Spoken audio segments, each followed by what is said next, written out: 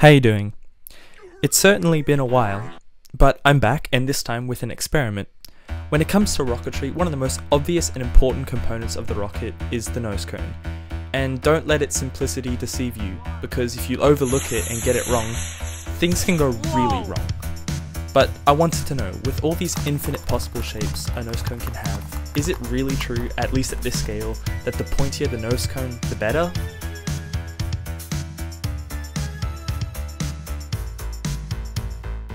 Well, I guess there's only really one way to find out. I'm sorry I was gone, but look, I made you some content.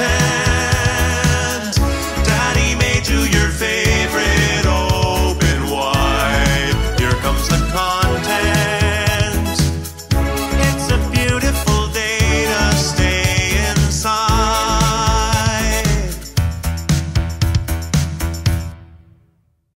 So, in order to test this theory that pointier nose cones tend to work better, we needed to define what we'd be testing and how.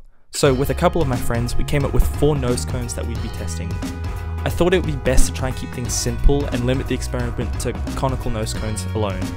Otherwise, we'd have to consider every possible nose cone shape and variation. The four nose cones that we'd be making and using varied in their summit angle. Basically, the smaller the number, the pointier and longer the nose cone was. They were as follows a 90 degree nose cone, a 60 degree one, a 42 degree one, and the pointiest of all, the 18 degree nose cone. Now, making these nose cones was no simple process. First, I had to design each cone in a 2D program in order to get the lengths of all the dimensions with the desired angle. I plugged all of that into the best computer aided design software, Tinkercad, to make a 3D model of the cones. I then exported that STL and sent it to my printer, and after a few hours of total print time and some sanding, I had all the nose cones. As for the experiment itself, we'd be just looking at the main metrics like apogee altitude, speed and acceleration captured by the altimeter 3 that would be velcroed to the inside of each nose cone. With all of that nonsense out of the way, it was time to launch and test each nose cone.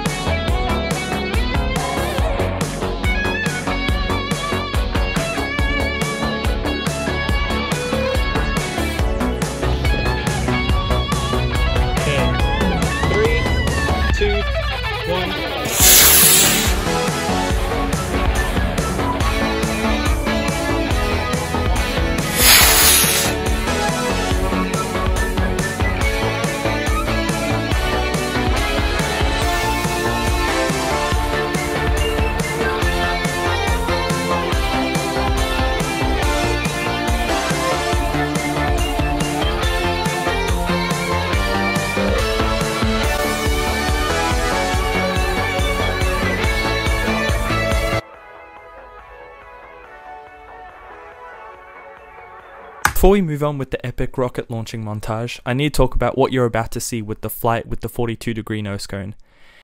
This flight by far had the straightest trajectory at launch and ended up going really quite high. And what goes up must come down, but where it comes down is also an important question. Alright, I'll continue the video. Rocket, rocket.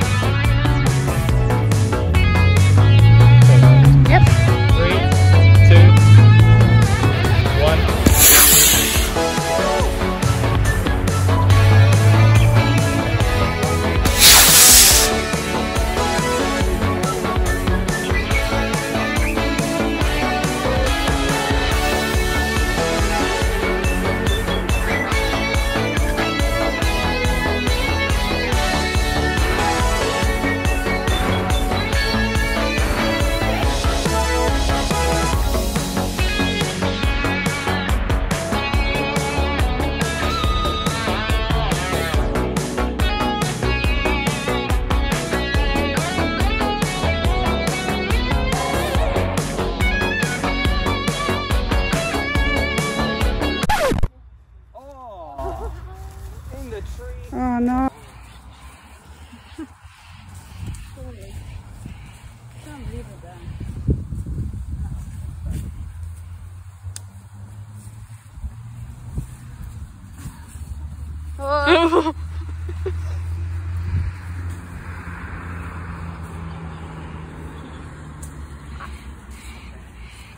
Don't worry, we got it out, just off camera. Back to the launches. Alright, I'm ready. Okay. Three, two, one. Oh, Three, two, one. um, it's on.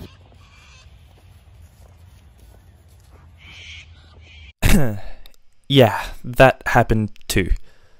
Turns out there was a short circuit in the igniter. But there was no damage done to the rocket, so we were able to just launch it again.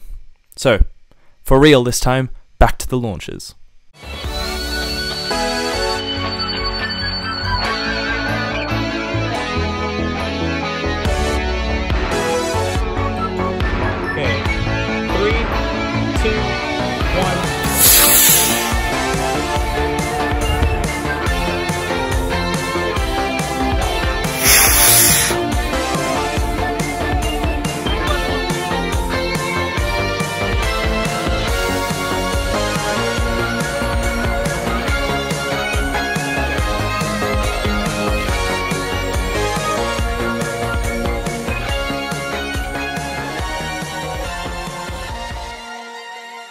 Now, for the results of this little experiment.